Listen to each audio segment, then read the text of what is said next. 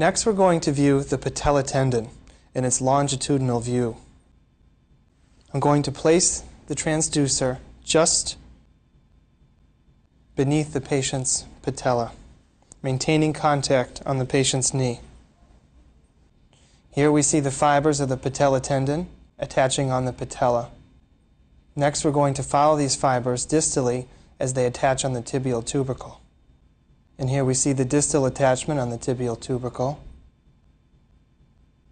Generally, I'll scan the patella tendon three times, once in the center and then once to each side to view the entire tendon. In this case, medially, and next laterally.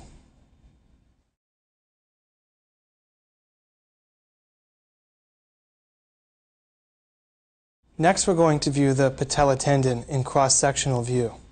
I'm going to place the transducer beneath the patient's patella, just overlying the patella tendon.